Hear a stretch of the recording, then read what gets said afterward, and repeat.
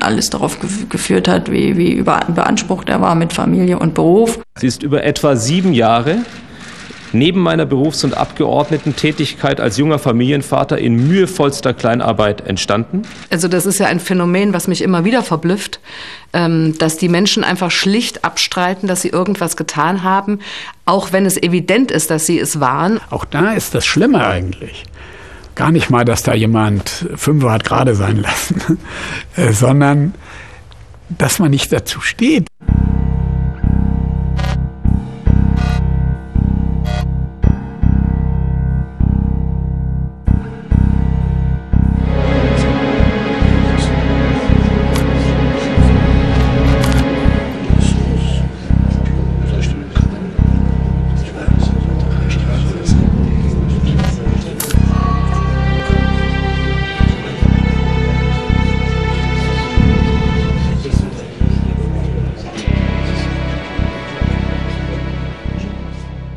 Christian Wulff hat die Frage, die ihm als Ministerpräsident gestellt war, äh, nicht vollständig richtig beantwortet. Weil Sinn der Frage war ja, herauszubekommen, ob möglicherweise eine Abhängigkeit bestanden hat äh, zwischen dem Ministerpräsidenten äh, und einem Geldgeber.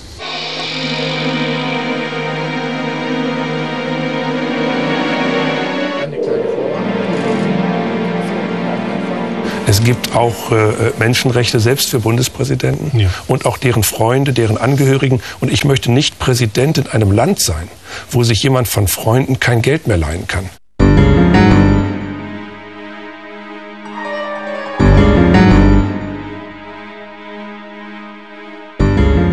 Dimension dieser einen Frage oder dieser einen Finanzierung hätte nicht, äh, wäre meines Erachtens, ist ja auch nicht vergleichbar zum Beispiel mit dem Spendenskandal und mit anderem, weil es einfach nicht die Größenordnung hat. Es ist erst die Summe dessen, was dann nach und nach öffentlich wurde. Ich würde sagen, er war den Belastungen des Amtes ähm, nicht ausreichend gewachsen und er hat, was sich selbst und seine seine Politik betraf und seine politische Laufbahn und das, was sich darin ereignet hat, nie überzeugend äh, verteidigen können aus dem Amt heraus. Ich trete deshalb heute vom Amt des Bundespräsidenten zurück, um den Weg zügig für die Nachfolge freizumachen.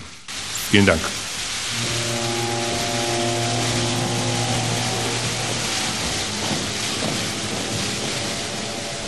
Müssen Politiker immer die Wahrheit sagen?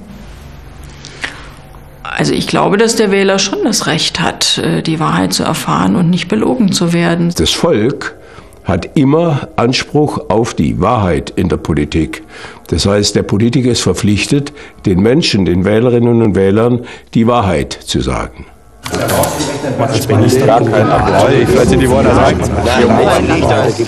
Muss denn ein Politiker immer die Wahrheit sagen? Ich würde den Anspruch erheben wollen, ja. Also in zentral wichtigen Fragen sollte er es schon machen. Weil sonst äh, funktioniert dieses ganze Gefüge einer äh, Demokratie, vor allen Dingen einer parlamentarischen Demokratie, nicht.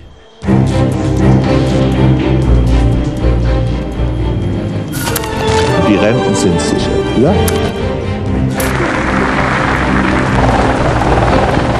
Deutschland ist BSE-frei. Ich bin meinem Herrgott dankbar, dass ich nicht unterrichtet gewesen bin. Dieses Wort gilt!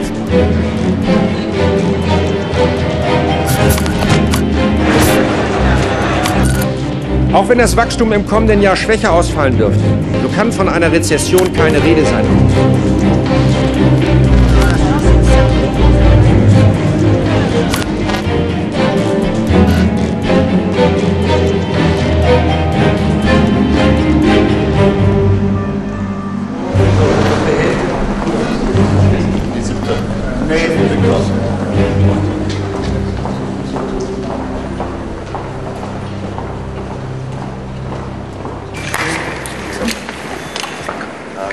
Wir sagen den Sparerinnen und Sparern, dass ihre Einlagen sicher sind. Auch dafür steht die Bundesregierung ein.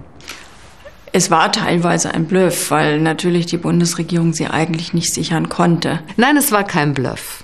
Es war kein Bluff, weil sie gesagt haben, die Spareinlagen sind sicher, wir stehen dafür, wir stehen dafür gerade, dass dieser Staat hier eine ordentliche Finanzpolitik macht und sie können sich darauf verlassen. Und die Menschen haben sich darauf verlassen, weil sie sowohl Steinbrück als auch Merkel vertraut haben, dass sie sie sicher durch die Finanzkrise bringen. Insofern alles richtig gemacht. Gut, hätten die Bürger aber das ernst genommen und äh, wären am nächsten Tag zur Bank gegangen, dann hätten die beiden äh, Kanzlerinnen wie Finanzminister doch arge Schwierigkeiten gehabt. Die Aussage, ihre Spareinlagen sind sicher, sollte ja nun gerade bewirken, dass die Leute nicht zur Bank gehen, sondern dass sie Spareinlagen da lassen, wo sie hingehören, nämlich bei den Banken.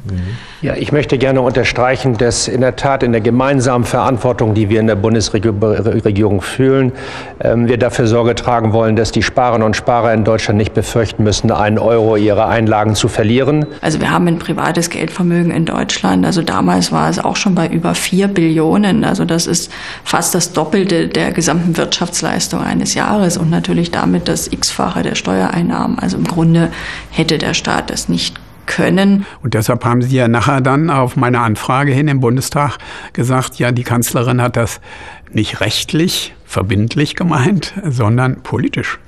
Also es war eine politische Aussage, dass sie es gerne so hätte. Und ich sage hier noch einmal, diese Erklärung gilt.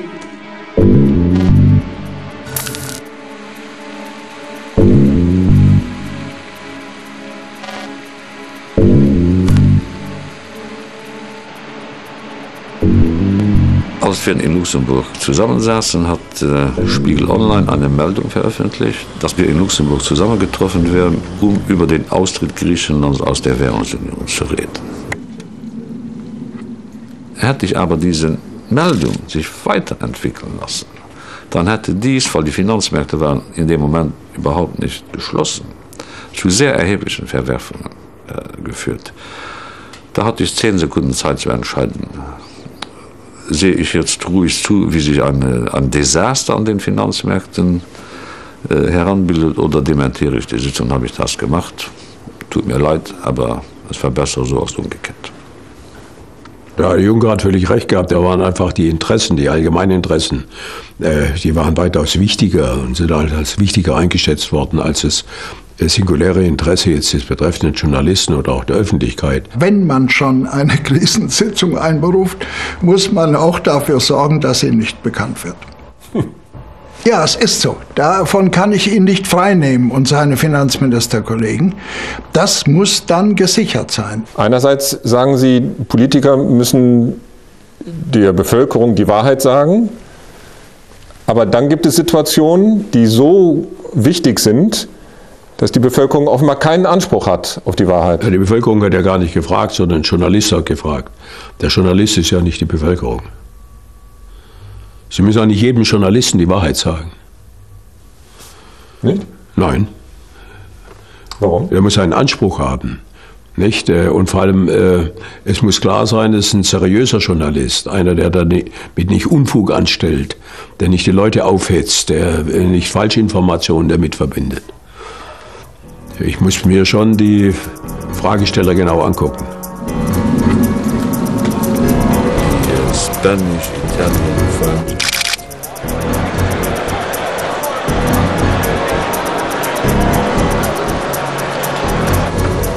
German and Italian finance minister. Those come. Also zu dieser ganzen äh, Finanzkrise habe ich meine eigene Auffassung. Ähm, äh, das ist eine ähnliche Gefahr, äh, wenn man darauf Rücksicht nimmt, wie die Finanzmärkte reagieren, wie Ratingagenturen steuern, äh, wie wenn man als Politiker in zentralen, in wichtigen Fragen die Unwahrheit sagt. Ähm, weil nicht mehr das entscheidend ist, was richtig oder falsch ist, äh, sondern was andere aus ganz äh, äh Interessen des Profits äh, für richtig oder falsch erklären, plötzlich dann richtig oder falsch wird.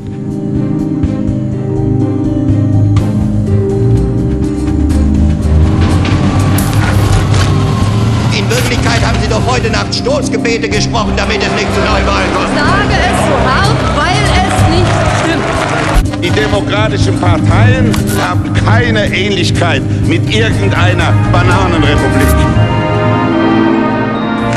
wirklich eine abenteuerliche Argumentation.